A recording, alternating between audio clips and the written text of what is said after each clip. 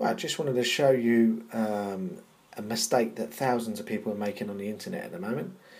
It's when they're repairing their iPhone 5 and they want to take the battery out, instead of digging it out from this side, digging the battery out, they dig it out from this side.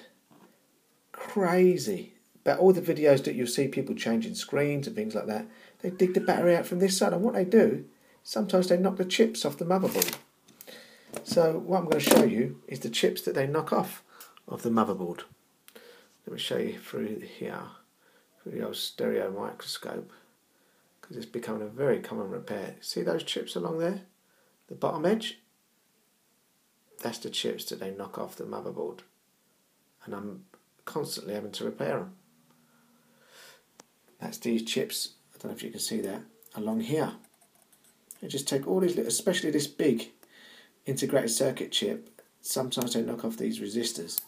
But this one here controls like the home button, this one controls the power button. They're such important chips, that's why they're on show.